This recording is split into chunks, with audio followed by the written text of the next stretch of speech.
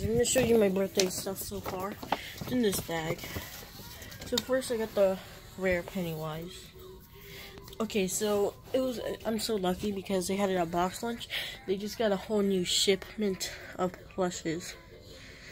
So yeah.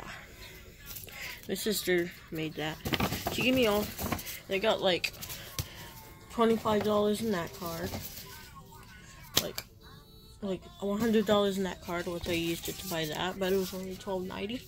And $9 in that card. So that's all my stuff so far. And I got $20 from, uh, from my coach. So yeah.